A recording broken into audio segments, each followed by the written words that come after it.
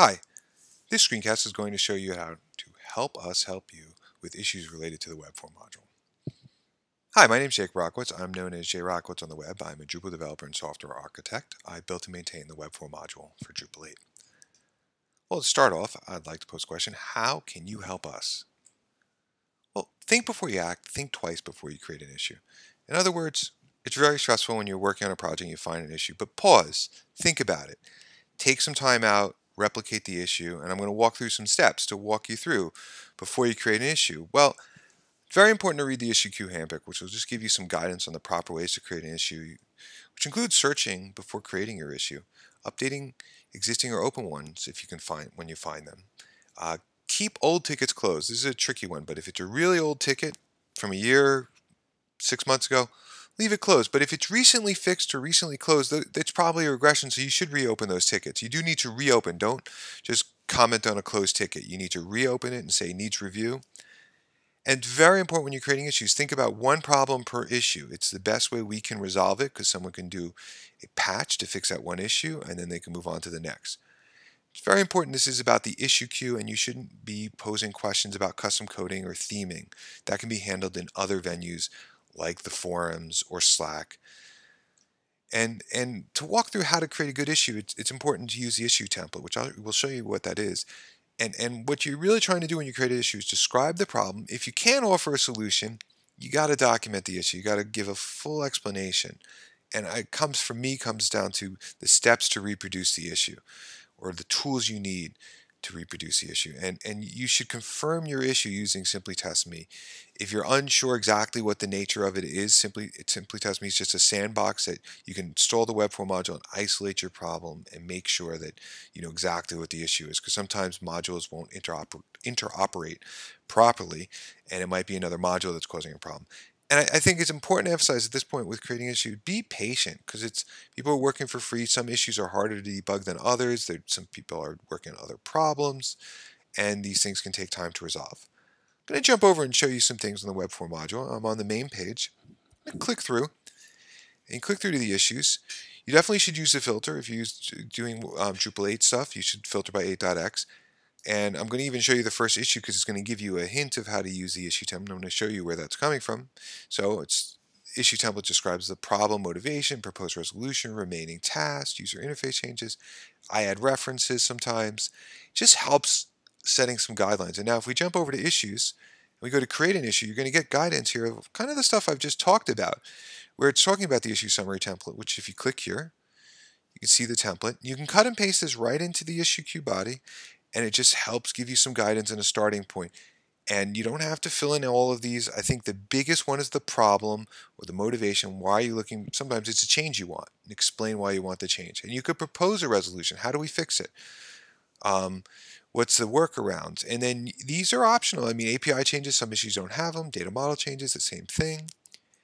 And all these steps that are listed here, I've just explained to you, but you need to read the issue queue handbook. That'll give you a lot of help. And if you need help, I'm going to show you, you know, list these out, but you got to look at the Webform handbook, the IRC, forums, and get more information outside of the issue queue if you have different coding or theming questions.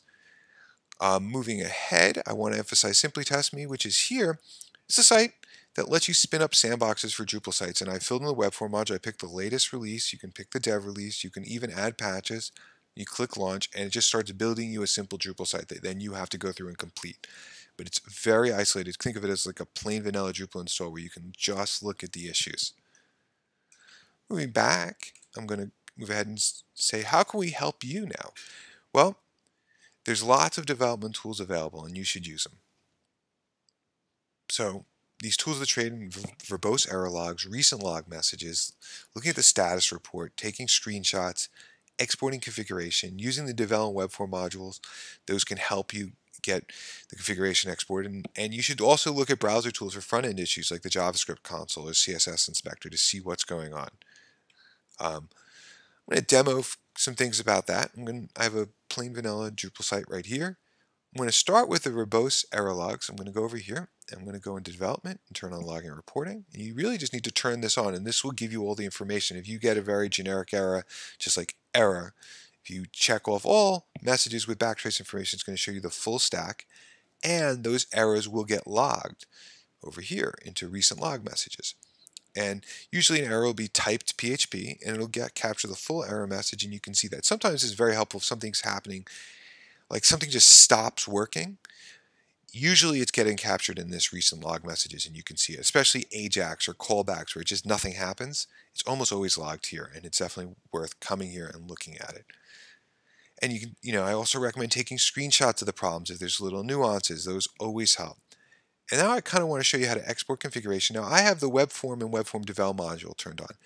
And the Webform, you know, devel modules are meant to help developers, but they can also help you file issues because I'll you the Webform module. Um, see, I have the contact form. Let's say, you know, jump over here. Uh, the, the devel module, if you turn it on, and set the permissions, you get a devel tab. And it'll show you output about each web form. The main one I want you to look at is the export tab, which uh, is being provided by the Webform module for Drupal 8. So this is a Drupal 8 specific feature. If you click on it, it will give you all the configuration information about this specific form. And you can do this, if you find an issue, you can create a very simple form that isolates just the issue, export it here. You can even scroll down to the bottom and click download. And this single file, if you upload it with your issue, gives the developers and maintainers a perfect example of what's broken and something to work off of. And we all are looking at the same exact form. We're not trying to manually create the issue. It makes a really big difference. Moving ahead, I want to point out other ways to get help, and there's a Webform cookbook for Drupal 8, and there is the handbook, and these are tips and tricks to help resolve issues. Some issues or feature requests are handled in recipes, where it's just like build, install, you know, this custom module, install this contrib module, or use this custom module. IRC is very active in the Drupal community. You can ask questions there. Slack, there's a Drupal Slack channel. There's a dedicated Webform Slack channel that I actually am active on. Um, Drupal Answers is great for those other questions, those theming questions, those coding questions. How do I do this? And you know, sometimes people even post issues there, and I'm on there, and I'll pull those issues back into the Webform issue queue. And Finally, you can pay a developer. There's a whole list of committers for Drupal, the Drupal 7 and Drupal 8 version of the Webform module. And we're all consultants and available to help you. And there's also a marketplace for companies and agencies that do work in, in the Drupal community. So finally, I'd like to remind you, help us help you, and say thank you.